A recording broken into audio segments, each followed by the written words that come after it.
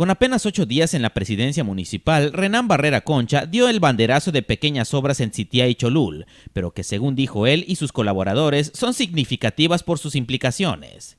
Esos trabajos se realizan con dinero enviado por la federación y permiten cubrir necesidades sociales, asignar contratos a pequeñas empresas y provocar derrama económica que a su vez genera empleos y consumo. La forma en que se realizan indica que regresó el gobierno caracterizado por la transparencia y la rendición de cuentas, expresó el alcalde.